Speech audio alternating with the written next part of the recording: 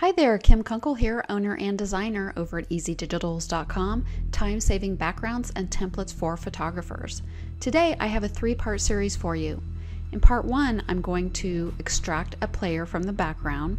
In part two, I'm going to go over the layers of the Victory Lights set. And in part three, I'm actually going to add the player to the background. But the first thing I want to do is talk to you about extractions. I know a lot of people get confused about them, so I just want to go over that quickly before we dive into the Victory Lights template. So when I do an extraction, I like to make a copy of the layer first. So I'm going to click duplicate layer, and then I'm going to turn off the background layer.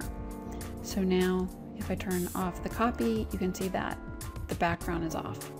So I'm going to select the quick selection tool and I'm going to zoom in.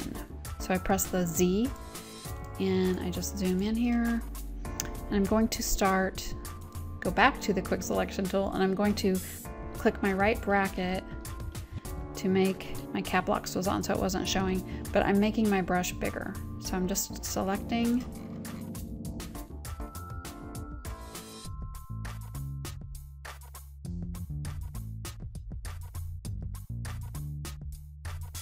You can zoom in as far as you need to to be able to see what you're doing with these. So if you want to get really detailed, you can just zoom in further. So if I press my Z, I can zoom in even further and see how I did with this. Come back to quick selection.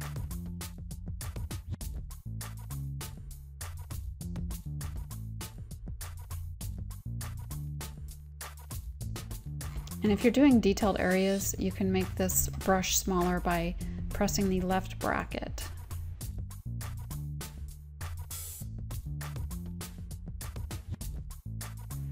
And I'm going to press my Alt key when I select an area that I didn't want to, when an area gets picked up that I didn't want to get picked up.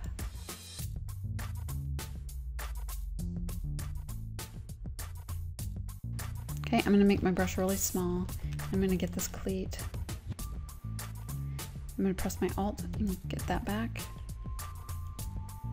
Getting these very small areas of the shoe. I'm going to get this other leg. Wait, I need to finish this.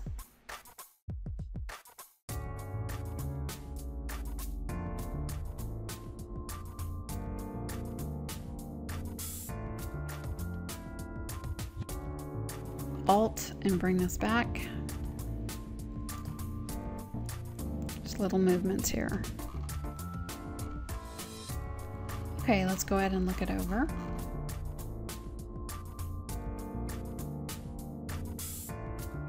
Okay, I think I've got it all. Okay, now I'm going to click Refine Edge. And I'm going to come to Overlay so that I can have this pink area around. And then you can use the magnifying glass and the hand in here to look at everything. So I'm going to turn on my smart radius and push this over a little bit. Zoom in to see how the hair is looking. Take this little brush and select some of this. Good. Okay. Back off here. I'm not liking that fix this. Okay. And I'm to do an edge shift here to make um, make sure there's no line around him. It's going to take just a little bit off of the edge, but I, it'll help with any type of fringe. So I'm going to output to a layer mask and click OK. All right, now we have a mask. I'm going to duplicate this layer, right click, duplicate layer, and I'm going to make, uh, this one is going to be the shadow, and this one is going to be the player. All right, now the shadow, the player layer is turned off and the shadow layer is on. I'm going to do view, fit on screen? Okay, by the way, I am using Elements 11 for this, which has masks. Some of the earlier versions of Elements don't have masks.